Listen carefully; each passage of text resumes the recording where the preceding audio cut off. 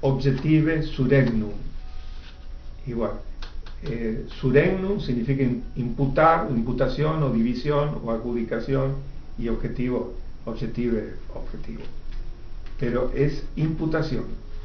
O sea, las palabras van cambiando el significado. Y eso hace que también sea necesaria una interpretación progresiva de la ley. O sea, ¿qué dice la ley en los distintos momentos históricos y cuándo se la va a aplicar? El método teológico eh, es el método que obedece a fines, como dije recién. Pero eh, lo que me interesa es señalar que mm, nuestro principio de legalidad eh, tiene que ser mantenido. Y no puede la interpretación estar en una zona muy fronteriza a la analogía, sino que la interpretación tiene que ser estricta, por razones de legalidad y razones constitucionales. Y esto es así, la, la, prohibición de la analogía juega no solamente para los delitos de la parte especial, sino también para las disposiciones de la parte general. Supongamos, y voy a dar un ejemplo, eh, el Código Penal en la parte general habla de la participación criminal. Dice quiénes son autores, coautores, cómplices primarios, cómplices necesarios e instigadores. Y señala cuáles son las responsabilidades que cada uno de ellos está asumiendo.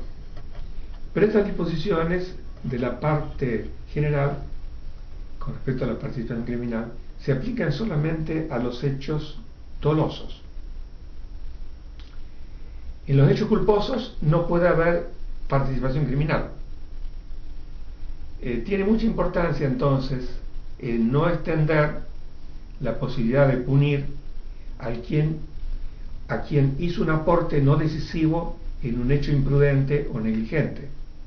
Porque si se lo hiciese, si se lo puniese al que hizo un aporte insignificante, pensando en los principios de, la participación criminal del código, estaría realizando una interpretación no válida conforme al mismo texto del código y por reflejo no válida desde el punto de vista constitucional porque es una infracción al principio de legalidad.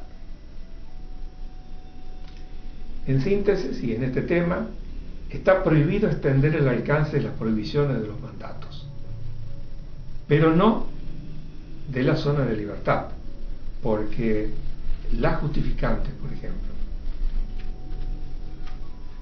las justificantes eh, admiten una interpretación extensiva. Fundamentalmente, la legítima defensa no tanto porque los requisitos están expresamente previstos por la ley, pero el estado de necesidad y sobre todo el cumplimiento del deber, el legítimo ejercicio de un derecho, de la autoridad o un cargo admiten una interpretación extensiva, porque a veces el cumplimiento de un deber y sobre todo el ejercicio legítimo de un derecho puede no aparecer estrictamente eh, establecido, tabulado en alguna ley que no sea penal. Pero de todas maneras, si la disposición tiene un contenido jurídico, ese contenido jurídico debe ser aplicado. En el, en el método sistemático, bueno, es, ya lo dije, tener en cuenta todas las disposiciones, incluso las que no son penales. Y el ejemplo también lo he dado recién, en el artículo 34, inciso tercero, cuando habla del cumplimiento del deber, el ejercicio legítimo de una autoridad, derecho, autoridad o cargo, porque eso puede venir de normas que no son estrictamente penales. Con esto entonces eh, doy por terminado la segunda parte de este módulo segundo.